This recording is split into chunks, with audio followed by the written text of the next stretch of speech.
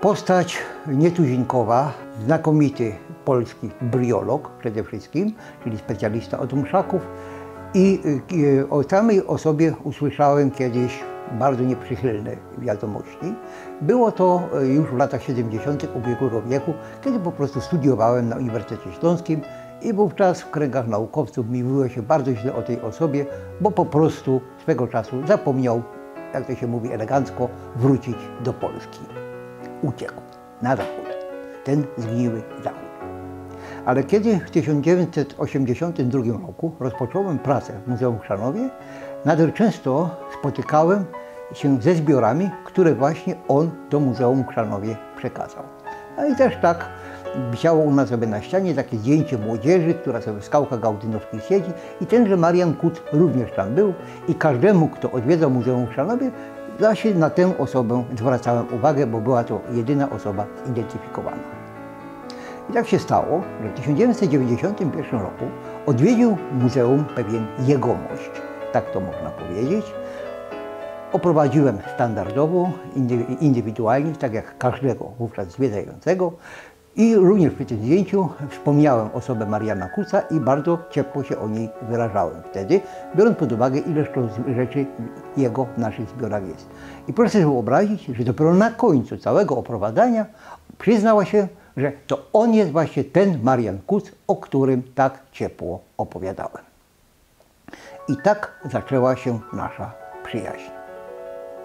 W 1992 roku po raz kolejny wrócił do Polski, bo już zaczął wtedy coraz częściej wracać i zaproponował zorganizowanie w Chrzanowie Muzeum Geologicznego pod otwartym niebem. To jest jego w tej chwili najważniejsza zasługa dla miasta, że coś takiego posiadamy, ale ten ogród będzie omówiony w zupełnie innych okolicznościach. Faktem jest, że dla potrzeb tego przedsięwzięcia utworzył Chrzanowskie Towarzystwo Araukarytowe. To y, Towarzystwo Araukarytowe zostało powołane do konkretnego celu utworzenia tegoż ogrodu.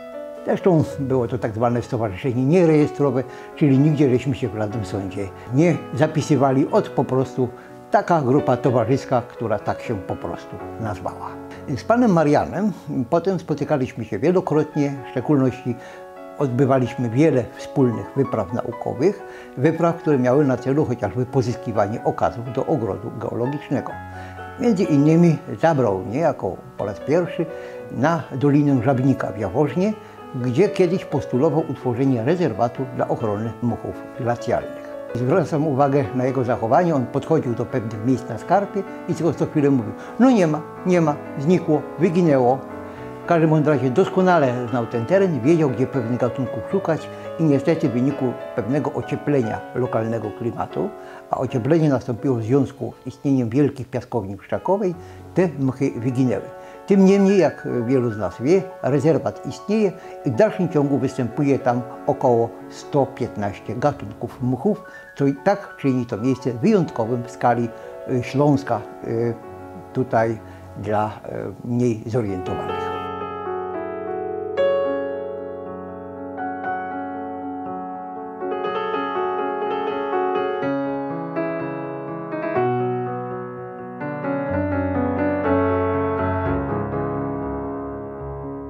Jako kanadyjski emeryt y, Marian Kuc y, przede wszystkim wtedy y, intensyfikował swoją pasję podróżniczą oraz naukową i między innymi zwiedził całą Amerykę od Alaski po Patagonię, oczywiście nie za jednym zamachem, ale zrobił to i z rozmów, które ze mną odbył, powiedział, że tylko dwa rejony świata, czyli też dwa kraje go nigdy nie interesowały, mianowicie Australia oraz Chiny.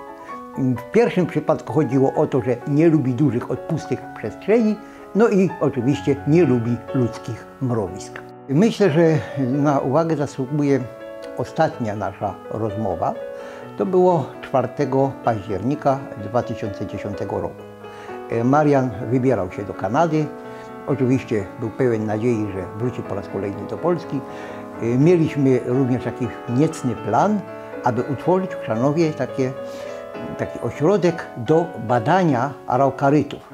Ja nawet zaproponowałem skrót, który mi się bardzo podobał, czyli CBA, znaczy się Centrum Badania Araukarytów. No ale do tego już nie doszło. A najciekawszym fragmentem tej ostatniej rozmowy jest to, że on mi opowiadał po prostu, jak wyobraża sobie swój pogrzeb. Trudno w kilku zdaniach zmieścić bogate życie tak interesującej osoby. Y, Pewną próbę podjęliśmy, y, wydając y, publikację pamiątkową poświęconą Marianowi Kucowi i chrzanowskim araukarytom i książeczka w formie czwartego zeszytu muzealnego jest wciąż do nabycia w naszym muzeum.